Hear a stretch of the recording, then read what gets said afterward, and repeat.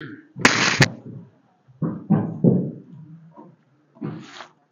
still my Bible. Good morning.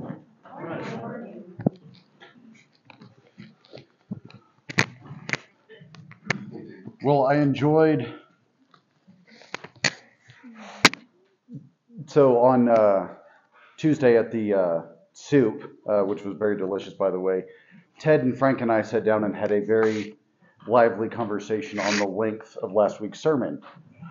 Um, one of them loved the length and thought it was perfect, and the other thought it was too short. So we will see how today goes. Um, I don't know. We'll we'll trust the Lord to lead in that. So um, it was fun, and I enjoyed it. So let's open in prayer. Lord, I thank you for your work uh, in my life um, and your word. Um, and we know that you're the one that gives understanding um, as you continue to guide each and every one of us. And I just ask for wisdom and understanding as we open your word today. Pray these things in your name. Amen. So this week, as I sat down to write this week's sermon, I must confess it, it was a little bit of a uh, challenge because every time I sat down to prepare and pray, I just seemed to be hit with every kind of distraction and hindrance you can think of. And each day it's like, okay, well, I didn't get anywhere this day. I'll, I'll try again tomorrow. And the next day was the same thing. On one particular morning, while I was trying to focus, one of my roosters was outside my window, and every five to ten seconds would let out this obnoxious call. And I found myself getting anxious, annoyed, irritated, irritable, and to make it worse, my wife and my kids could tell I was on edge too. As I was praying, Lord, what do you have me to preach on this week? I would hear that rooster crowing. I found myself thinking about how fortunate Peter must have been to only have to listen to that three times. Yet here I am trying to write a sermon, and every time I would start, there'd be that rooster crowing as if mocking me. Now, when I look at the rooster crowing in Peter's life, it served as a reminder of his failure, a reminder that his best to serve the Lord came up short. So here I am trying to prepare a sermon, and a rooster crows. Failure. Here I am trying to spend time in my closet praying, Lord, what would you have me preach? And I hear the crow again, and I'm reminded of my failure. And this continued for about 30 minutes. So, of course, after spending time last week looking at Paul's prayer to the Ephesians and making that prayer my own, Lord, give us a spirit of wisdom and of revelation of the knowledge of you. And there goes the rooster. As we've been working through the book of James, I was reminded in chapter 1, starting in verse 5, if any of you lacks wisdom, let him ask God, who gives generously to all without reproach, and it will be given to him. Let him ask in faith without doubting, for the one who doubts is like a wave of the sea that is driven and tossed by the wind. For the person must not suppose that he will receive anything from the Lord. He is a double minded man, unstable in all his ways. God, I need wisdom right now. What are you trying to teach me? What am I supposed to preach on? And there's the rooster again. And I'm reminded of my failure. The truth is, I am that man described in James when I get tossed by the waves. I am unstable minded. And the irony is, the harder I try to be stable minded, the rooster would crow, and I was forced to recognize the more unstable I actually am. So, more out of just pure desperation because I'm going, God, I don't know what you're trying to teach me other than I'm a failure. I continue just reading in Ephesians. So, if you want to turn in your Bible to Ephesians, uh, we're going to start uh, actually in chapter 3, verse 14, and we'll go through chapter 4.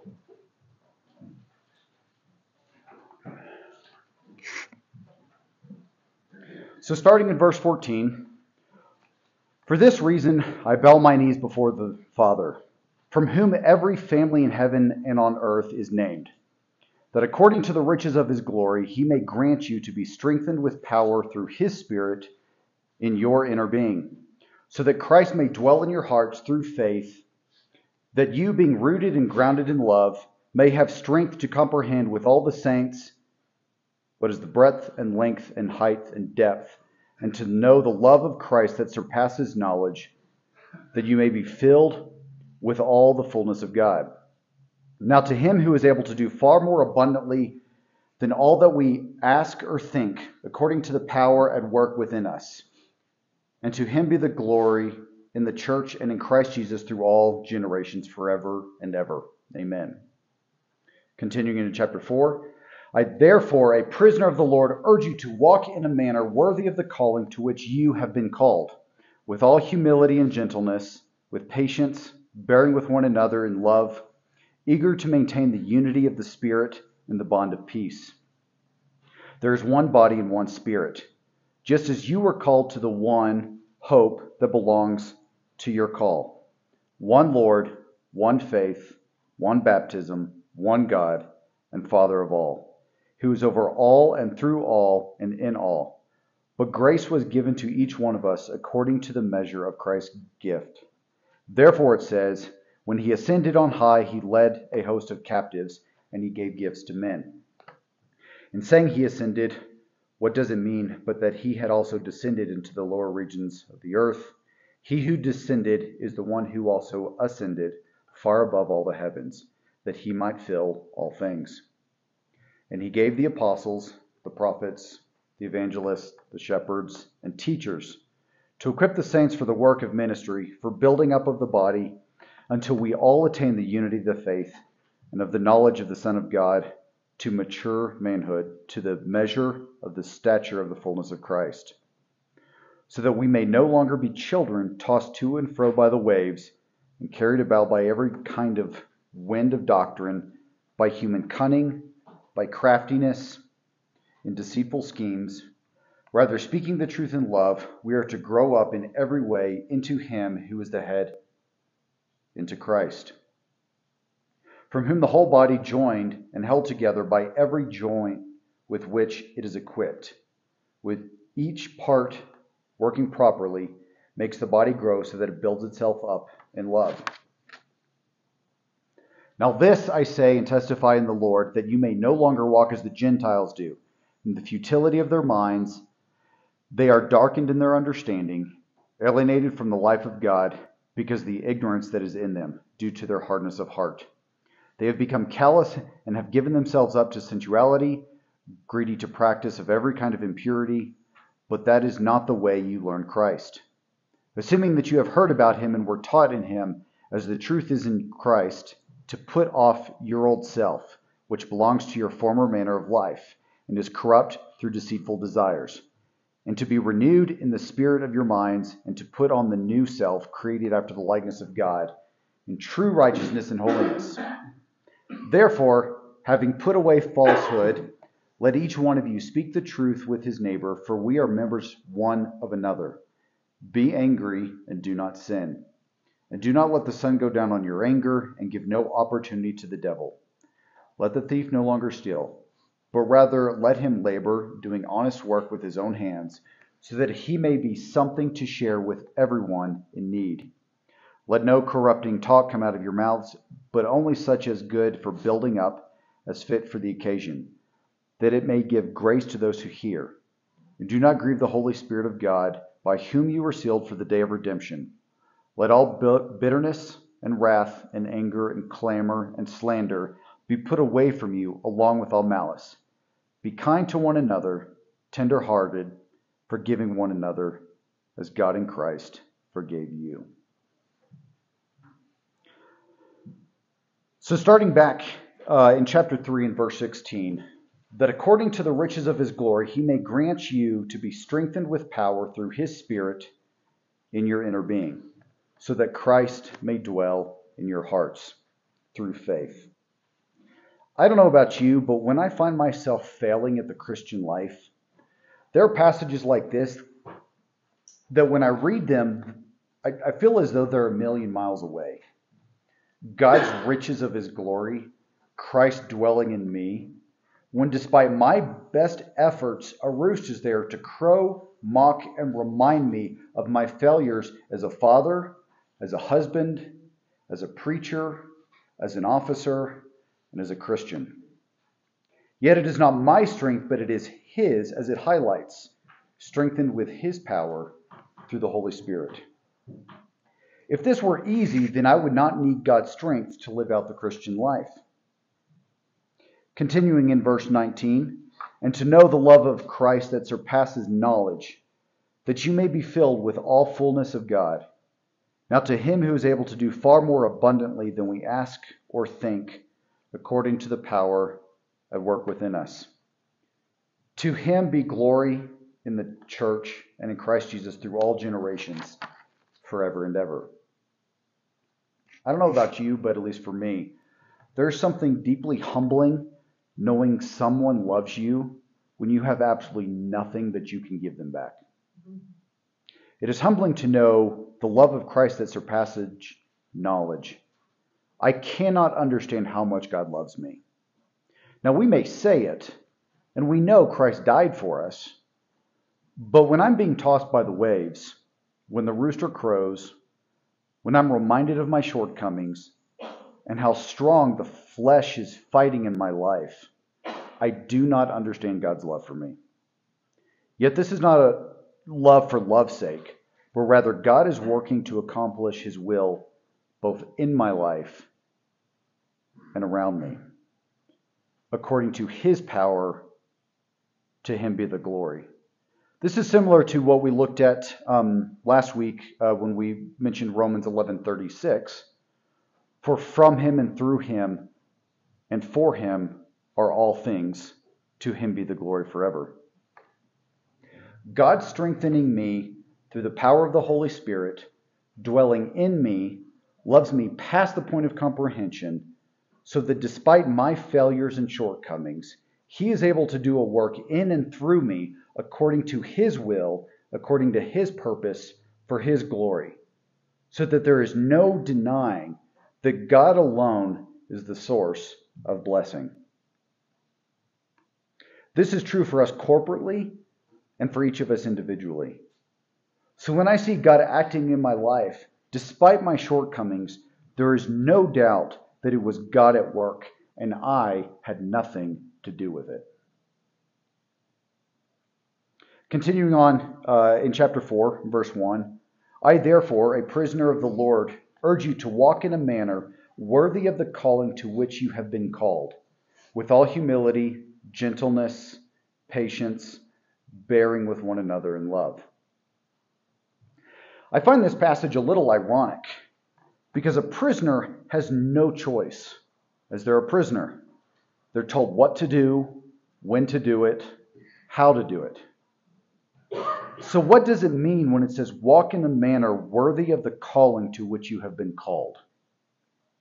Or to put it a little differently, what does it mean to walk a Christian walk in the same way you were called? Let me ask you a question. When someone calls your phone, who is the initiator and who is the responder in that conversation? The same is true of our Christian walk. Now, we are not lazy bumps on a log, passively doing nothing. However, it does cast a different light on the Christian life. God calls, we respond. Our Christian life is a response to God's initiation in our life. This is the same truth that we see echoed in Colossians 2 6, which says, Therefore, as you've received Christ, Jesus the Lord, so walk in him. The passage does not say, Now that you've received Christ, go live for him. In the same way, in the same manner in which you came to Christ in the first place, is the exact same way and ability you have to live the Christian life. Very briefly, looking at John chapter 3, this is when Nicodemus visited with Christ. Now there was a man of the Pharisees named Nicodemus, a ruler of the Jews. This man came to Jesus by night and said to him, Rabbi, we know that you are a teacher come from God, and for no one can do the signs that you do unless God is with him. Jesus answered him, Truly, truly, I say to you, unless one is born again, he cannot see the kingdom of God. Nicodemus said to him, How can a man be born again when he was old? Can he enter a second time into his mother's womb and be born? Jesus answered, Truly, truly, I say to you, unless one is born of water and the Spirit, he cannot enter the kingdom of God. That which is born of the flesh is flesh, and that which is born of the Spirit is spirit. We talk about spiritual birth in Christ, and in the same way as physical birth, babies contribute nothing to their birth. This is true in the physical sense as well as the spiritual. You contributed nothing to your birth in Christ. The first temptation from the devil to Eve was Did God really say? He was getting Eve to doubt God's word. And the devil does the exact same with me, and he does the exact same with the church. So, as we see in Colossians and Ephesians, we are told to walk in the Christian life in the same way that we came to Christ in the first place. So, then why do I think I have anything to contribute to the Christian life? If my Christian walk is to mirror the reflection of my salvation in Christ, then I contribute nothing. Rather, like the phone ringing, it's my job to respond. I may choose to pick up the phone, but I don't know of anybody who bragged or boasted about answering a phone call. The Christian life is not something we accomplish, rather, it is something we are given. The Christian life is something we receive. Often, when I find myself trying to live out the Christian life out of my own self determination and willpower, that is when I find myself the man described in James. That is when we receive, it is when we receive the Christian life that we're able to, as it says in Ephesians, walk with all humility, gentleness, and patience, bearing with one another in love.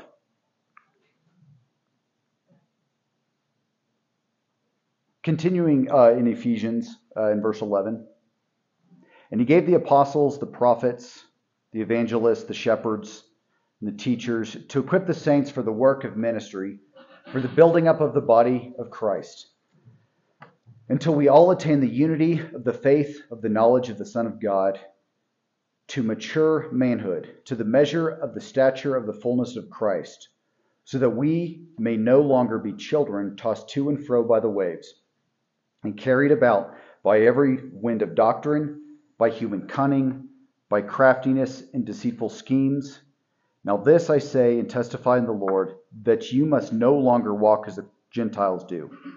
In the futility of their minds, they are darkened in their understanding, alienated from their life of God, because of the ignorance that is in them due to their hardness of heart. They have become callous and have given themselves up to sensuality greed, to practice every kind of impurity, but that is not the way you learn Christ. If you remember the prayer in Ephesians 1, that the Lord give you a spirit of wisdom and a revelation in the knowledge of Him. This is a continuation of that. In verse 13, God gave people their spiritual gifts to serve the people for His glory. God invites us to respond to his work in our lives, to accomplish his purpose, so that at the end of it all, we can say, Look what God did. When I read this passage, I found it convicting because, as much as I don't want to admit it, and in my pride, I act like a child. And if I'm being honest, frankly, there's times I kind of want to. I want to scream, I want to pitch a fit, and I want to get my way. It is so tempting to want to give into human scheming, my own craftiness, and my desire to control my circumstances around me because I want life to go the way that I want it to go. We've all probably seen at times when we've been out in public or shopping at the grocery store, we've seen that child that throws a tantrum and the parent is manipulated and controlled by the child. The child yells, screams, throws a fit, maybe even starts hitting the parent in the leg. And the parent, to simply pacify the child, gives in.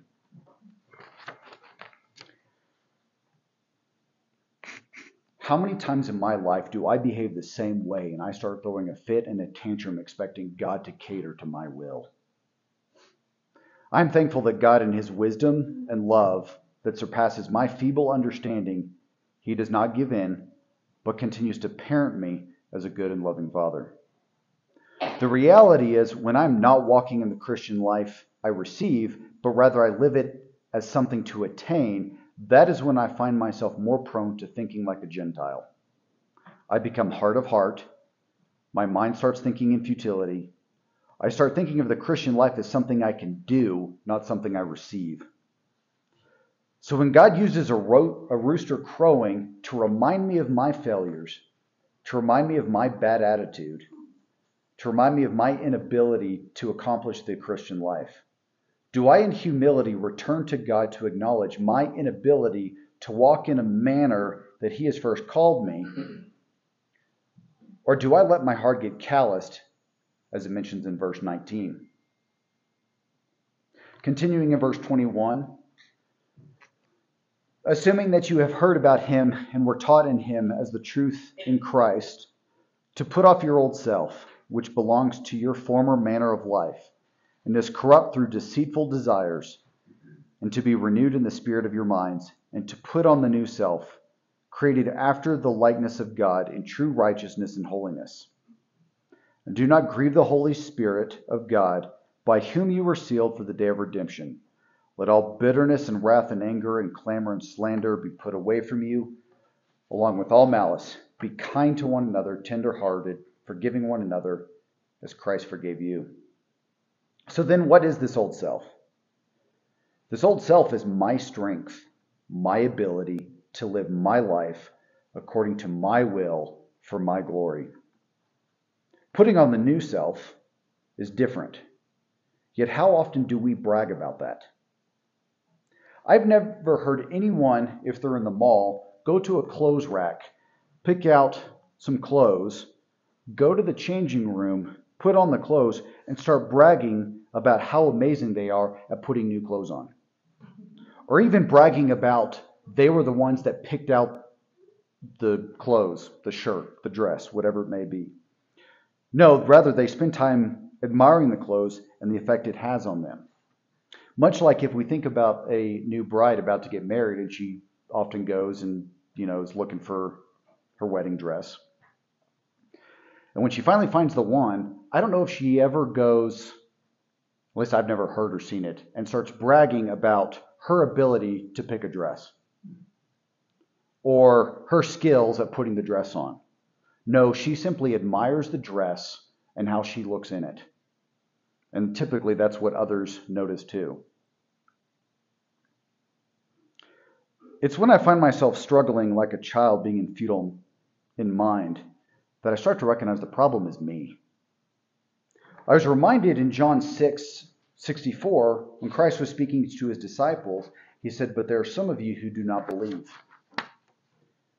And I was reminded, God is never surprised by my unbelief, and he's never surprised by my failures. Christ was not surprised by Peter's failure. The only one surprised was Peter himself. And when you think about it, how father-like is that? For a little child to think they have it all figured out, and a loving father to lovingly watch as their child grows in understanding, you don't have it all together and you don't understand.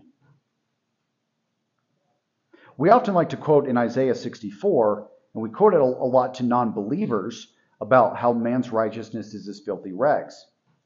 Yet, all too often, we don't apply this to Christian living. When Christ said in John 15, For apart from me, you can do nothing, do you realize this is not simply an issue of salvation, but also Christian living? This means that apart from Christ, the good that I desire to do for Christ is not attainable unless Christ, who dwells in my heart, is the originator of it.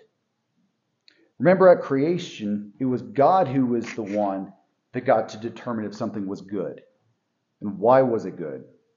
Because its origin and its very reason for existence were conceived in God.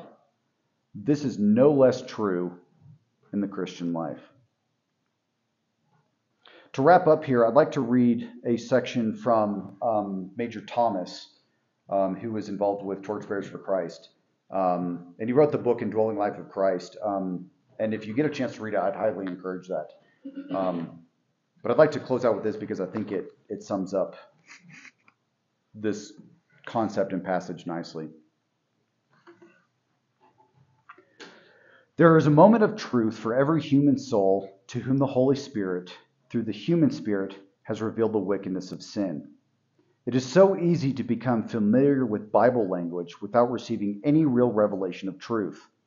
God wants to bring you, no matter how bitter may be the experience, to the place of self discovery, to this moment of truth. In startling reality, the truth as expressed by Paul may dawn upon your soul I am the creature of the flesh, carnal, unspiritual, having been sold into slavery under the control of sin. Romans 7:14. This passage in Romans reveals how the human soul is exploited by the subtle principle of sin within and clearly defines the conflict within you. One part of you says, I acknowledge and agree that the law is good and that I take side with it. I endorse it and delight in the law of God in my innermost self with my new nature. Romans 7:16. In your human spirit, the Holy Spirit is bearing witness to all that is good and right and noble. And your enlightened moral conscience, every act and attitude of sin is an offense. Then there is that other part of you, the sin principle which dwells within me, fixed and operating in my soul. Romans 7:20. You realize that when I want to do what is right, and good, evil is ever present within me, and I am subject to ins- insistent demands. The moment of truth comes when you quit exchanging courtesies with the flesh and repudiate it to its face, naming it for its treacherous, wicked, worthless thing that it is. At this climactic stage in your Christian life, you realize that there can be no compromise with the flesh. And that peaceful coexistence with the principle satanically hostile to the law of God and to the reestablishment of His sovereignty within your soul is now beyond the bounds of possibility. You realize that it was never God's purpose to improve the flesh, to educate it, or to tame it, let alone Christianize it. Uh, it has always been God's purpose that the flesh, condemned, sentenced, and crucified with Christ, might be left buried in the tomb and replaced by the resurrection, by the resurrection life of the Lord Jesus himself. The risen Christ must exercise control in your mind, in your emotions, and in your will, expressing himself through your personality. Paul described this very clearly in his concern for the Ephesian Christians when he prayed for them, quote, For this reason I bow my knees for the Father of our Lord Jesus Christ that he would grant you, according to the riches of his glory, to be strengthened with might through his Spirit in the inner man, that Christ may dwell in your hearts through faith. The resurrected Christ living in you so that he can get the glory, not so that I can boast and say, Look how great I was at answering a phone call or picking out a new shirt to wear so that ultimately I'm going, I cannot live this Christian life. And the only way I can walk in a manner worthy of the calling to which I've been called is if, like the baby, recognizing I contribute nothing to my Christian life. And so then, in humility, like that child, coming to the Father and going, I can't do this, but you can. Let's close in prayer. Lord, I thank you for your patience with me. Um, despite like a child when I throw a tantrum and a fit and I want to be able to accomplish my will according to my plans and my ability, that you continue to love me and guide me. And I thank you that it's not my ability, but it is yours. Mm-hmm. So that in the end, there's no denying that you are the Lord and you are God and you are the one on your throne. I thank you that you're with us, and I thank you for your word. Pray these things in your name. Amen.